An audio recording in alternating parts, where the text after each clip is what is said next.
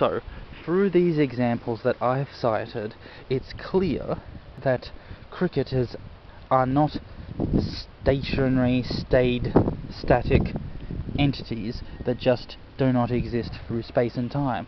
In fact, over the course of their careers, there will be shifts and adjustments as they develop and change and train and experiment.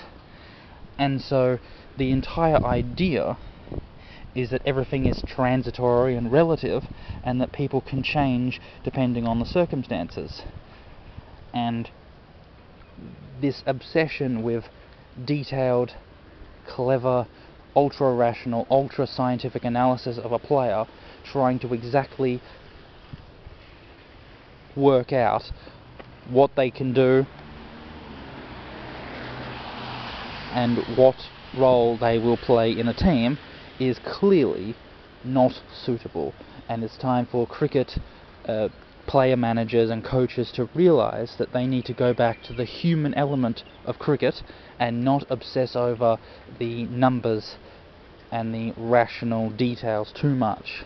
That cricket is fundamentally a, a sport about humans over the course of space and time competing with each other. This is not a matter of robots with competing programs.